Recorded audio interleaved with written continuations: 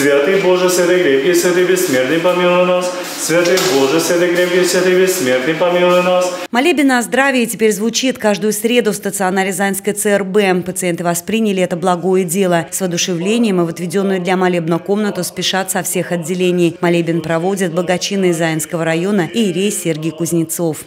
Меня даже приглашали в палату в первый раз, то есть я пришел в палату, и, значит, после молебна, да, мне сообщили, что меня хочет человек увидеть, потому что это был мой прихожанин, который приходит к нам, исповедуется, причается, ее прооперировали, и она была очень рада меня видеть. Главная просьба всех молящихся, конечно же, о здоровье. Молебен длится минут 20, чтобы больные не уставали. Но местные бабули настолько рады, что можно и в больнице коллективно помолиться, что молятся не только за себя. Ну, о здоровье детям, себе, всем, и за страну, за все молимся все, что было хорошо. Очень. Я хожу в Старом Заинске все время и очень благодарна, что вот в неделе, сегодня а, Андрей Первозванный, по-моему, и попала сюда, на это богослужение. С Божьей помощью, чтобы было все нормально у нас.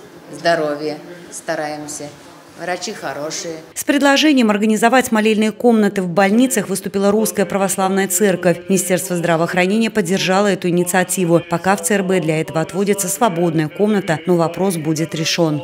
Наша больница поддержала эту добрую идею и организовала встречи православного священника с нашими пациентами. Сейчас решается вопрос о выделении отдельного помещения для организации молельной комнаты.